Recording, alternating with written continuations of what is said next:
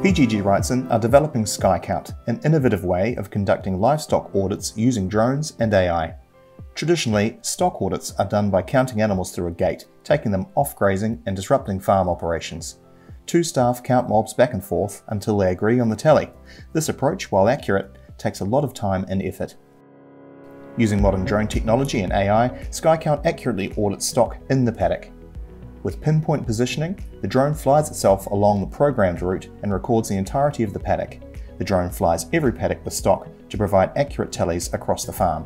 We operate the drone at 120 metres above the ground, allowing us to record most paddocks in a single pass and avoid any impact of the drone on livestock.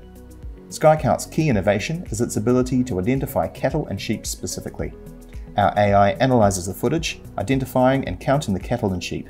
The AI algorithm tracks each animal, and if the level of confidence is high enough, it is counted.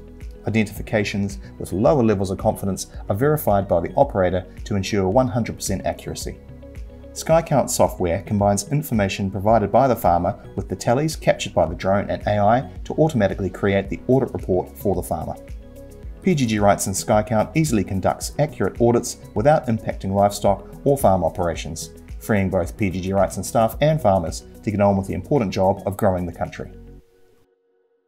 PGG Wrightsons and the have been working together for a number of years, uh, getting physical stock counts done of our livestock for our financial year end.